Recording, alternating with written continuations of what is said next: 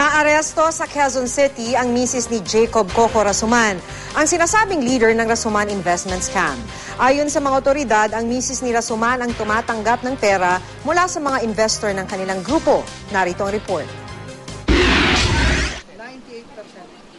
Magandang marketing strategy raw ang dahilan kaya naengganyo mag-invest si Johari Di Ampuan at ang kanyang mga kaanak at kaibigan ng 120 million pesos sa Rasuman Investment Group.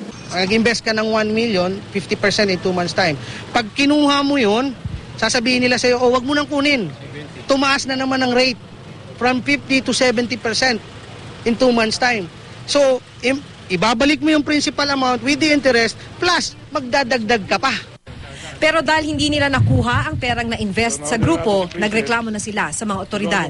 Labing isa na umano'y sangkot sa Rasuman Investment Scam ang kinasuhan nila ng syndicated estafa. Ang itinuturong leader ng grupo na si Jacob Coco Rasuman, inaresto sa kanyang bahay sa Marawi City nitong Nobyembre sa bisa ng arrest warrant na pinalabas ng Regional Trial Court Branch 20 ng Cagayan de Oro City. Kasama sa mga kinasuhan ng asawa ni Coco na si Princess Tumawis Rasuman. Naaresto naman siya kaninang madaling araw sa isang subdivision sa Commonwealth Avenue sa Quezon City.